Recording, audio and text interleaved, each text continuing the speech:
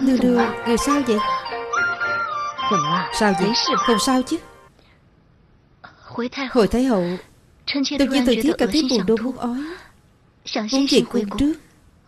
À Không sao không sao. Còn mới chịu tan tay Đây cũng là chuyện bình thường. Hà hà Đợi bác Phu về cung đi. Nếu có chỗ nào không khỏe Cứ triệu Thái Y vào cung chẩn đoán. Có biết không? Dạ Thái Hậu đưa đưa chúng ta về cung thôi. Thần tiến xin cáo lui trước. Ừ.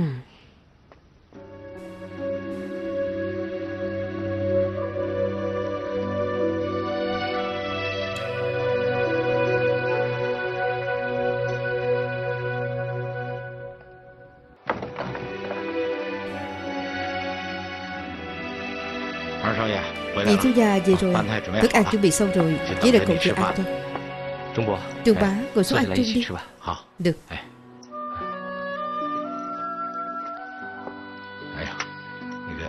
Nhị thiếu gia? Đeo cái này trên người đi. Cầm lấy đi. Tôi khuyên cậu về quê Cậu chính là không nghe. Bây giờ ngày nào tôi cũng đi trên đường. Nhìn thấy khắp đời Trên đường đều dán cáo thì chấp ngã người bịt mặt. Trong lòng tôi Rất là lo sợ.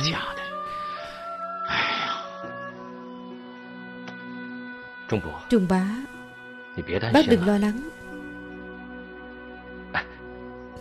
Bác xem đi, Con đẹp trai như vậy Bức tranh đó thì dễ sống như vậy？Ai mà nhận ra con chứ Đúng không Nói sao đi nữa。Hôm nay tới trong biếu cậu xin cho cậu lá bùa bình an này Cậu phải đeo trên người cho tốt Cũng là để tôi an tâm một chút。Con biết Con sẽ đeo nó trên người Nhất định sẽ không sao đâu。Yên tâm đi。Vậy thì tốt。Ăn cơm đi Trung Bá。Bá này, đây bá yên tâm, con sẽ không đi làm chuyện nguy hiểm đó nữa đâu mà. Cậu phải nhớ những lời lúc nãy cậu nói. Nói được là phải làm được đấy. Con biết rồi mà.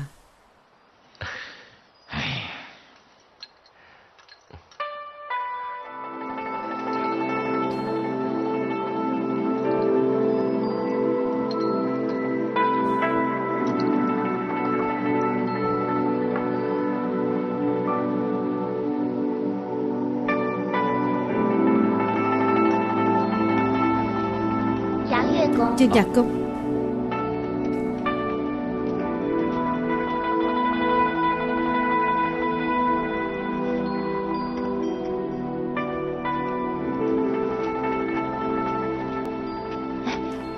Chuyên nhạc công, Cô người ở đây sao? Triều chuyển nhạc. À đúng rồi.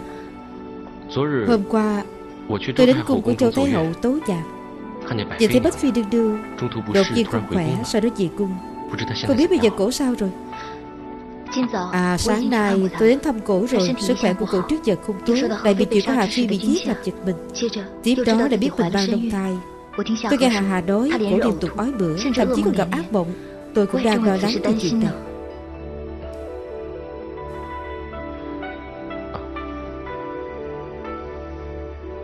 Đúng rồi Chỗ của tôi có một lá buồn bình an Cậu được trông biếu. Cô có thể giúp tôi chuyển giao cho Bách Phi không? Cô hồn cho cô khỏe mạnh bình an. Không vấn đề.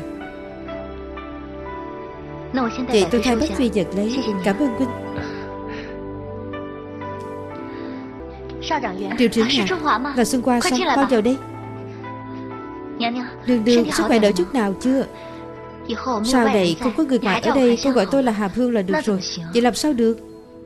Nhưng mà tôi cảm thấy như vậy thân thiết hơn.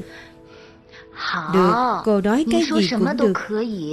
Ai kêu cô đang có thai chứ？Tất cả mọi người trong cung đều phải nghe lời của cô。Cô đừng cười tôi nữa。Nhìn thấy kết cục của Hà Phi như vậy。Cô nói Tôi còn dám như mừng vì chuyện mình có thai sao Cô đừng lo lắng Càng không được suy nghĩ nhiều Không sao đâu À đúng rồi. Cái này là của dương nhạc công giờ tôi đưa cho cô. Đó là trung phúc cho cô. Hy vọng cô có thể thuận lợi sinh hạ hoàng tử. Nàng quyến ấy tầng thật sao? Tôi gạt cô làm gì? Nhưng mà Cô đừng suy nghĩ quá nhiều. Cứ coi như là sự chúc phúc và quan tâm của bạn bè. Suy nghĩ nhiều đối với cô Đối với ấy đều là bất lợi. Tôi biết. Bây giờ tôi là người đàn bà của Hoàng thượng và lại còn có con nữa. Cô nói rất đúng. Đàn bà ở trong cung Không nên suy nghĩ gì cả. Đúng. Không nên suy nghĩ gì cả. Bây giờ trong đầu của cô Chỉ cần nghĩ Làm sao an thai Làm sao sinh ra đứa con này thật khỏe mạnh. Dù sao đi nữa Tôi cũng sẽ bảo vệ tốt Đứa con này của mình mà.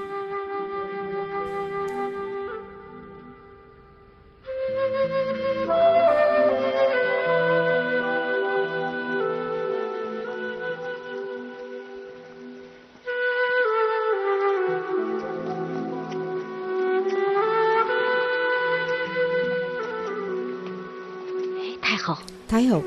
Triệu Huyền Phi đang ở bên đó. Lần trước ai gia gặp nó Nó đang lên giọng với Thần Phi. Bây giờ là buồn bá cũng vui như vậy. Triệu Huyền Phi là một người tâm cao khí ngạo Bây giờ Bách Phi có thai Trên dưới trong cung đều nghĩ đến Bách Phi trước cổ làm sao cam tâm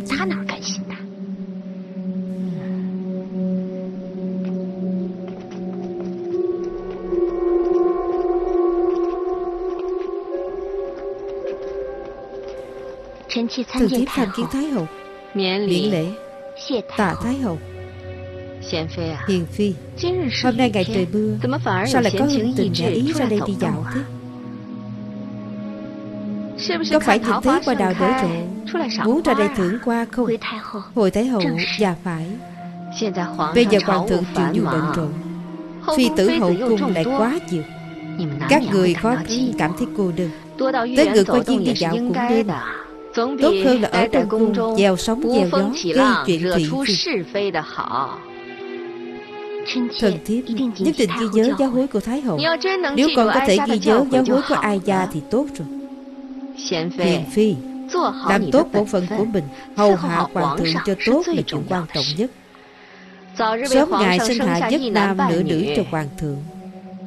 Sau này địa vị của con ở trong cung Tự nhiên sẽ kiên cố Không cần để thế ép cười cũng có thể được người ta thương yêu và kính trọng và thái hậu. Được rồi ai gia cũng phải đi dạo con không cần phải đi cùng con Lùi xuống đi. Thần thiếp cung tống Thái Hậu.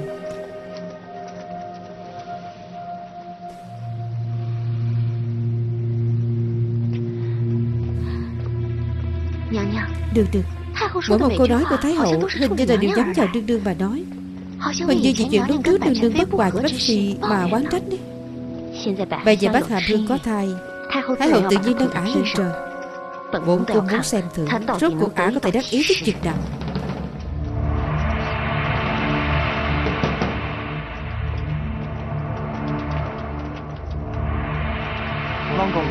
Ung công công đương đương ở trong cung đợi học. Uông Trực tham kiến quý phi đương đương Miễn lễ. Tạ đương đương Uông Trực Thanh qua đây. Không biết đương đương triệu kiến cô Tài có gì căng dặn Ánh Nguyệt Và đương đương Mở ra xem thử. À.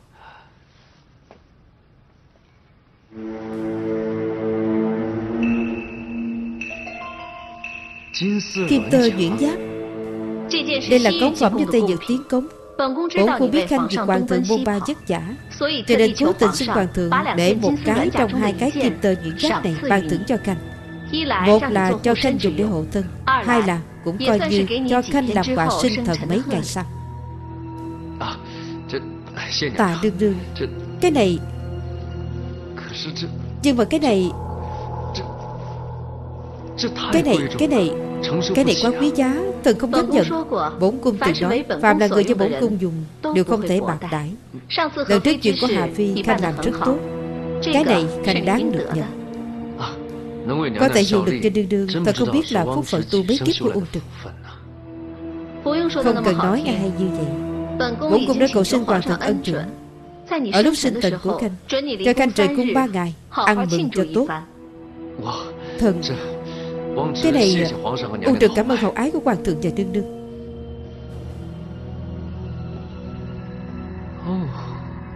Chúc vương xưởng công có được kỳ trân trong thiên hạ. Ôn trực may mắn được hoàng thượng và quý phi trọng dụng Bây giờ coi như có ngài nổi bật rồi. Phải không Xưởng công được hoàng thượng ân chuẩn.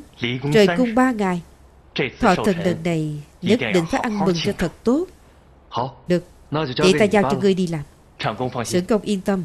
Bà tứ nhất định để thọ thần Làm tới có thành có sắc Khuấy động cả thành đô Quá tốt Tốt. Vậy ta đợi xem ngươi có bao nhiêu bản lĩnh đây. Dạ.